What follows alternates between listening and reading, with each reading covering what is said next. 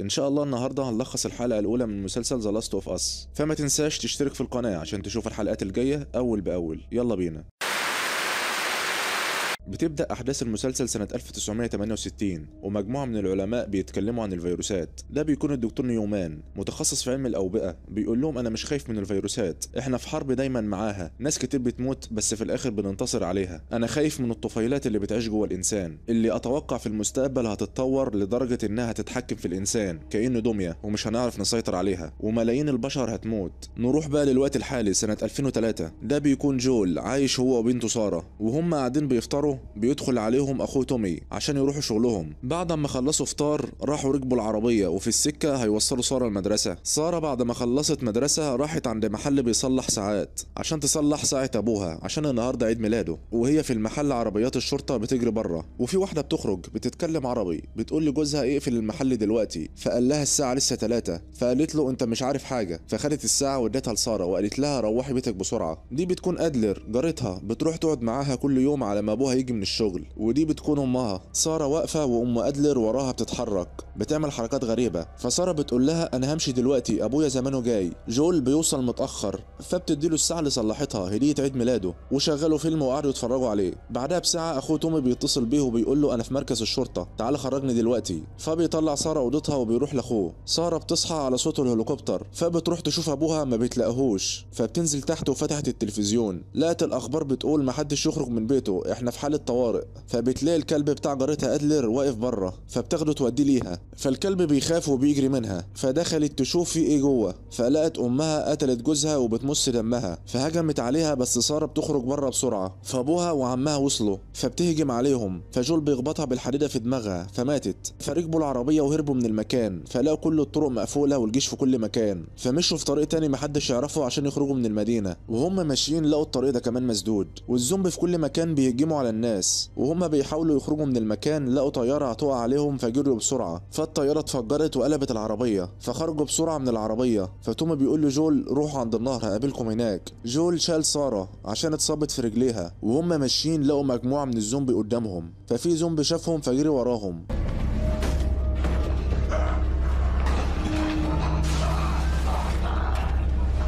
فقبل ما يمسكهم في جندي ضربه بالرصاصة في دماغه. فجول قال له إحنا مش مصابين. فالجندي كلم القائد بتاعه يبلغه. فقال له اقتلهم. فضرب عليهم نار فوقعوا على الأرض. فراح يكمل عليهم. فجول بيقول له من فضلك ما تضربش. بس قبل ما يضربه توم بيجي وبيقتله. بس ساره اتصابت فجول بيضغط على الجرح بس الإصابة كانت خطيرة وبتموت. وبعد مرور 20 سنة في مدينة بوستن بعد ما بقت خراب بيظهر مجموعة من البشر وهم بيولعوا في الجثث. وبيظهر جول معاهم. بعد ما خلص راح ياخد أجره. وبيبقى عبارة عن ورقة بيقدر من خلالها يشتري أي حاجة اسمها بطاقة وبيروح على المدينة اللي بقى فيها أحكام عرفية وبيتحكم فيها قوة عسكرية اسمها فيدرا. المنطقة دي اسمها بر الأمان. جول بيروح يقابل شرطي اسمه ماك عشان يبيع له دواء. فجول بيقول له إيه أخبار العربية؟ فقال له لسه شخص واحد بس هقنعه. فجول قال له التكلفة هتبقى كام؟ فقال له أربع شرطيين وأنا يبقى 600 بطاقة. فجول قال له أنا ما معيش المبلغ ده هديك 200 و200 للتانيين. تمام؟ فقال له تمام اتفقنا. فماك قال له ما تمشيش كتير في الشوارع الأيام الجاية لأن جماعة Fireflies قتلوا اتنين مننا امبارح والقائد رفع حالة الطوارئ.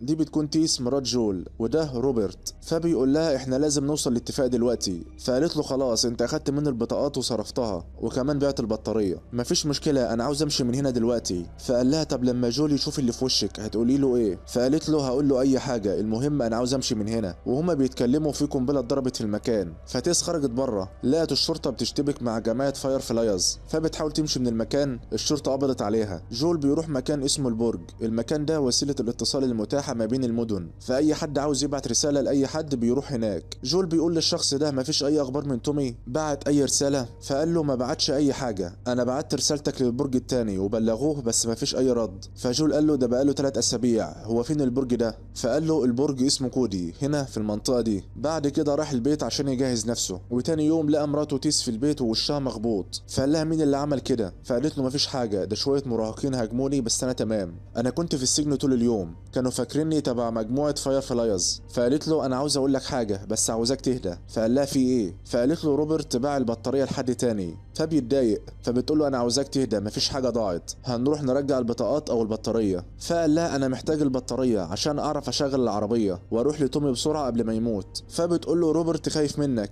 لو رحت له وأنت غضبان كده هيعرف وهيهرب. عاوزاك تبقى هادي. فبيقول لها هو فين دلوقتي؟ وباعها لمين؟ فبتقول له معرفش لحد دلوقتي بس هنعرف. وهنروح ناخد منه البطارية ونشغل العربية ونروح ندور على تومي. ده المقر بتاع جماعة Fireflies ودي مارلين القائدة ودي كيم. بتقول لها هي مين البنت اللي انت حبسها في اوضتك؟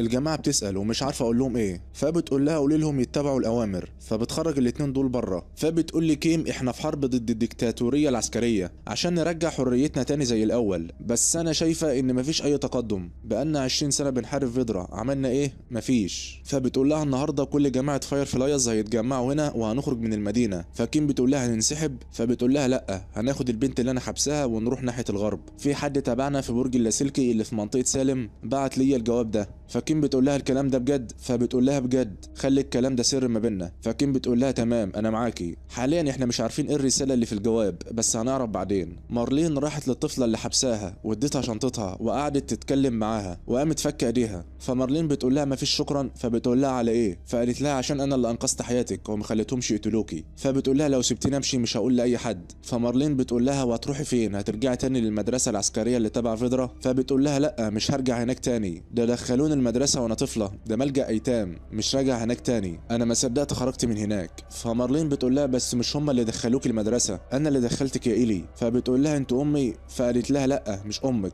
أنا مارلين قائدة جماعة ال Fireflies في منطقة بر الأمان في مدينة بوسطن. فايلي بتقول لها طب أنت ليه دخلتيني مدرسة الفيدرا فمارلين بتقول لها لأنه المكان الوحيد اللي هتكوني فيه في أمان. إنما دلوقتي أنت في خطر. انت مهمة جدا بالنسبة لنا وعشان كده هتيجي معانا الليلة. فبتقول لها اللي هقوله لك دلوقتي ما تقولهوش لحد. ده هيبقى سر. طبعا الأحداث مش مفهومة لحد دلوقتي وإيه السر اللي قالته لها؟ نروح لجول وتيس. عرفوا مكان روبرت فين ورايحين له. فوصلوا للمكان اللي هو فيه ودخلوا جوه يدوروا عليه. فلقوه ميت وجنبه البطارية بس بايظة مش شغالة. فسمعوا صوت فراحوا ناحيته. فإيلي هجمت على جول بس مسكها ووقعها على الأرض. فمارلين وكيم رفعوا عليه المسدس. بس طلعوا يعرفوا بعض. تيس بتقول لها أنت بقى اللي روبرت كان عاوز يبيع لها البطارية. فإيلي بتحاول تاخد السكينة فجول رفع عليها المسدس. فمارلين بتقول له وجه المسدس ناحيتي أنا.